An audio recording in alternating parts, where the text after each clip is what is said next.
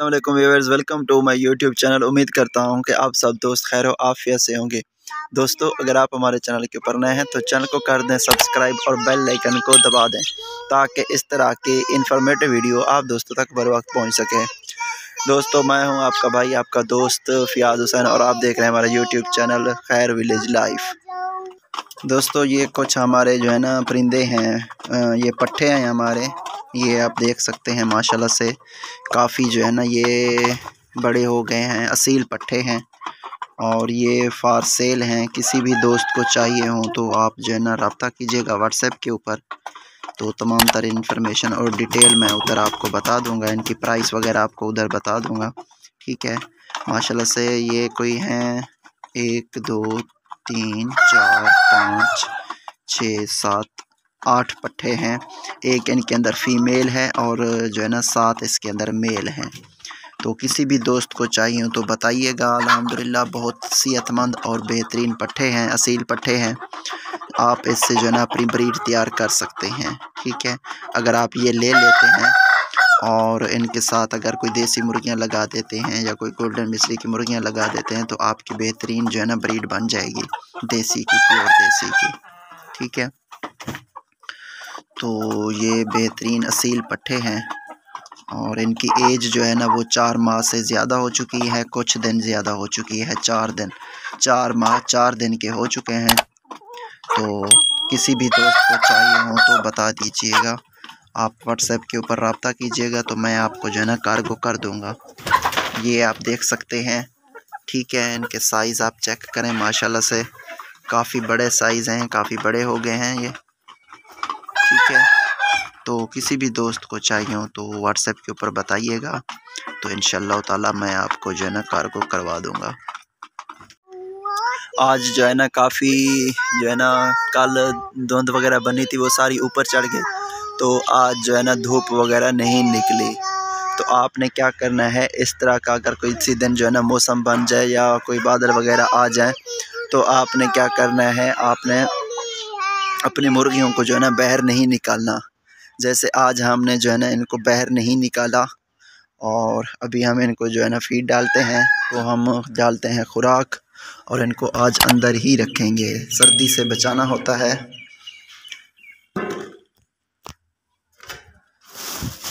अगर आप इनको सर्दी से बचाते हैं तो फिर ये जो है ना एग प्रोडक्शन भी देती हैं और बीमारी से भी महफूज रहती हैं वगरना इनको जो है नज़ला ज़ुकाम बुखार हो जाता है।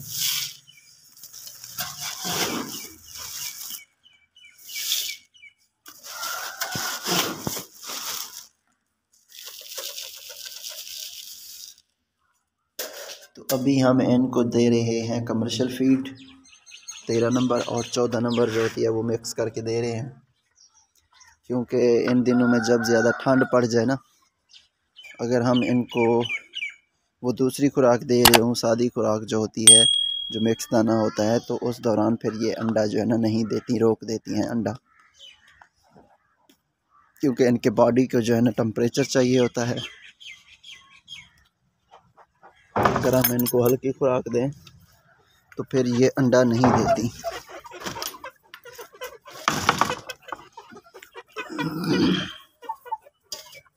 आज हमने इनको अंदर रखा हुआ है बैर नहीं निकाला।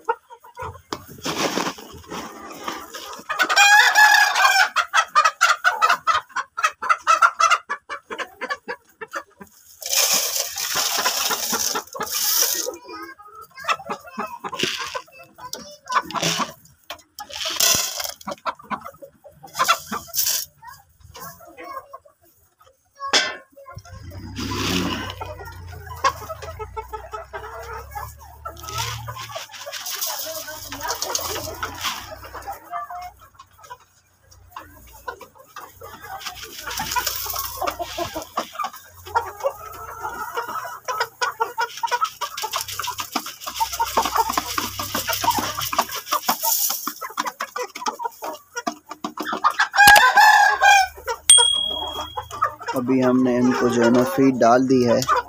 अभी इनको डालते हैं फ्रेश पानी। तो इन दिनों में आप ख्याल किया करें, ठंडा पानी भी ना दिया करें। जब सर्दी का मौसम होता है तो आप क्या किया करें कि वक्ता फ़वक्ता पानी को जो है ना चेंज करता रहा करें। एक ही पानी जो है ना ना यूज़ किया करें। जब पानी ठंडा हो जाता है, अगर मुर्गियाँ ठंडा पानी पिए तो फिर भी इनको मसले मसाइल हो जाते हैं। और अगर आप प्योर देसी का काम कर रहे हैं तो अगर आपके मुर्गे कूड़ा को हो जाए तो आपने उसको सर्दी के अंदर जो है ना पानी में उसको नहला देते हैं तो फिर भी जो है ना बेचारे परिंदे बीमार हो जाते हैं, उनको नज़ला ज़ुकाम हो जाता है। तो आपने ये काम भी नहीं करना। तो काफ़ी सारे दोस्त होते हैं जो कि उनको इन्फॉर्मेशन नहीं होती, उनको मालूम नहीं होती तो वो क्या करते हैं? परिंदों को जो है ना उनको जब वो कूड़ा हो जाए तो उनका कूड़ा ख़त्म कराने के लिए उसको जो है ना पानी के अंदर नहला देते हैं। जैसे परिंदे जो है ना, बीमार हो जाते हैं, बुखार हो जाता है, उनको नज़ला ज़ुकाम हो जाता है और वो परिंदा एक्सपायरी हो जाता है। तो आपने इन चीज़ों का जो है ना ख्याल करना है। अगर आपका परिंदा कूड़ा को हो जाए तो आप उसकी जगह चेंज कर दें, उसके साथ मुर्गा लगा दें, मगर ये काम नहीं करना। मुर्गे को वैसे जो है ना हाँ अगर गर्मियाँ हों और मजबूरी हो तो आप उसको जो है ना नहला दें। वो भी कूड़ा ख़त्म नहीं होता, नहलाने से जो है ना कूड़ा ख़त्म नहीं होता। हाँ ये है कि अगर उनको जुएँ वगैरह हैं या कोई कीड़े वगैरह होते हैं जो ना उनके जिसम के ऊपर तो परों के अंदर तो उनसे जो है ना निजात मिल जाती है नहलाने से। वो भी दवाई वाला पानी हो तो उसी की मदद से जो है ना आप उसको पानी के अंदर नहलाएँ तो उससे जो है ना निजात मिल जाती है। और अगर सर्दियाँ हैं और आपके परिंदों को जुएँ वगैरह हैं तो फिर आप उसको नहलाएँ नहीं। बल्कि जो पाउडर मिलता है टाइगर पाउडर मिलता है, वो पाउडर ही उनके जिसम के ऊपर लगा दें तो उससे जो है ना वो जुएँ वगैरह मर जाती हैं। ठीक है? तो ये चंद चीज़ें जो है ना आपने एहतियात करनी है। और कोशिश किया करें कि बहस से परिंदे न लिया करें। ठीक है? मैं कल एक दोस्त से रबता हुआ तो वो कह रहे थे कि फ्याज भी मेरे चंद परिंदे जो है ना बीमार हो गए हैं और एक्सपायरी हुए हैं, कोई सात आठ बता रहा था। तो मैंने फिर उनसे पूछा कि क्या आपने ऐसा कौन सा काम किया है जिससे जो है ना ये बीमार हुए हैं? तो फिर उन्होंने मुझे बताया कि फ़ियाज़ भाई, मैं कुछ परिंदे बहर से लेके आया हूँ, जिसकी मदद से जिसकी वजह से जो है ना मेरे परिंदे बीमार हो गए हैं और काफ़ी जो है ना मोटेलिटी हो गई है। तो आप कोशिश किया करें कि आप बहर से परिंदे ना लाया करें, ठीक है? अगर मैंने भी ले आने होते तो मैं भी ला सकता था। पर मैं रिस्क नहीं ले सकता। जो अपने थोड़े से परिंदे हैं, वो भी बंदा जो है ना, उनसे भी हाथ गंवा बैठता है। वो भी आपके जो है ना, मर जाते हैं मोटेलिटी हो जाती है। अगर आपका परिंदा वैक्सीनेटेड है वैक्सीन भी की हुई है, सेहतमंद है, और अगर आप बीमार परिंदा लेके आते हैं तो वो परिंदे भी मर जाते हैं, और आपके सेहतमंद परिंदे जो है ना, वो भी मर जाते हैं। तो इन चीज़ों का ख्याल क्या करें? ये एक बायोसिक्योरिटी होती है तो आप बाहर से परिंदा ना लाया करें।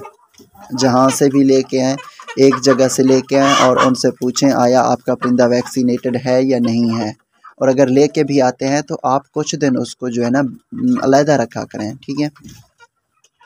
उसको अलहदा रखें, उसको जो है ना एंटीबायोटिक दें, उसको वैक्सीन करें। वैक्सीन करने के बाद फिर अपने फ्लॉक के अंदर जो है ना, उसको ऐड करें मिक्स करें। ऐसा नहीं है कि आप कहीं से परिंदा लेके आएँ और उसको अपने फ्लॉक के अंदर जो है ना मिक्स कर दें। इससे जो है ना आपके परिंदे काफ़ी जो है ना नुकसान होता है मोटेलिटी हो जाती है तो इन चीज़ों का ध्यान किया करें। तो मैं भी दो परिंदे लेके आया था बहर से, जैसे ये वाला खड़ा है ना, ये भी मैं बहर से लेके आया था, मुल्तान से लेके आया था। और एक और मुर्गी आपको दिखाता हूँ, वो भी मैं बहर से लेके आया था, वो भी मैंने मुल्तान से ली थी। तो इनको जो है ना मैंने पंद्रह दिन अलहदा रखा था। ये वाली मुर्गी जो है ना, ये भी मैं मुल्तान से लेके आया था। ये काफ़ी माशाल्लाह बेहतरीन मुर्गी है। साइज़ भी इसका काफ़ी बड़ा है और एक बार अंडे दे चुकी है और अभी जो है ना ये अंडे के लिए तैयार है। आज शायद जगह बना रही है अंडा देने के लिए। तो मैंने इनको जो है ना वैक्सीन की थी, मैंने इनको अलहदा रखा था। वैक्सीन करने के बाद फिर मैं इनको जो है ना इधर लेके आया हूँ। बंदे को तसल्ली हो जाती है कि अब इनको जो है ना कोई मसला नहीं होगा।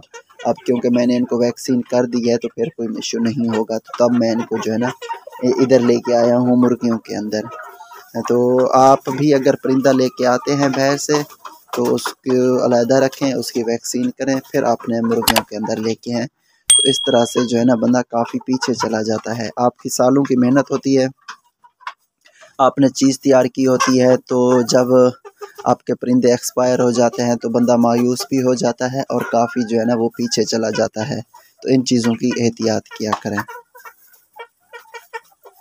ठीक है दोस्तों, अगर आपको हमारी वीडियो अच्छी लगी है तो लाइक करें, शेयर करें और अगर आप हमारे चैनल के ऊपर नए हैं तो चैनल को कर दें सब्सक्राइब और बेल आइकन को दबा दें। ताकि इस तरह की इंफॉर्मेटिव वीडियो आप दोस्तों तक बर वक्त पहुँच सके। मैं कोशिश करता हूँ कि अच्छे से अच्छा कंटेंट लेके आऊँ अपने दोस्तों के लिए। और जो मालूम है मेरे पास, और जो कमेंट आते हैं आपके, या फिर आप कोई व्हाट्सएप के ऊपर कोई चीज़ पूछते हैं तो मैं चाहता हूँ कि उसके ऊपर मैं वीडियो बना दूँ। और आप कमेंट किया करें, ठीक है? अपनी राय का इजहार किया करें। कोई चीज़ पूछनी हो तो कमेंट के अंदर पूछा करें आप, ताकि मुझे पता चले कि किस चीज़ की ज़रूरत है। बंदे के जहन में नहीं होता कि मैं जो है ना क्या, किस चीज़ के ऊपर वीडियो बनाऊँ, ताकि मुझे पता हो, उसके मुताबिक बंदा वीडियो बनाए ताकि आपको अच्छी से अच्छी इन्फॉर्मेशन मिले और आप एक अच्छे तरीके से काम कर सकें। ठीक है दोस्तों थैंक यू सो मच अल्लाह हाफिज़, मिलते हैं नेक्स्ट वीडियो में।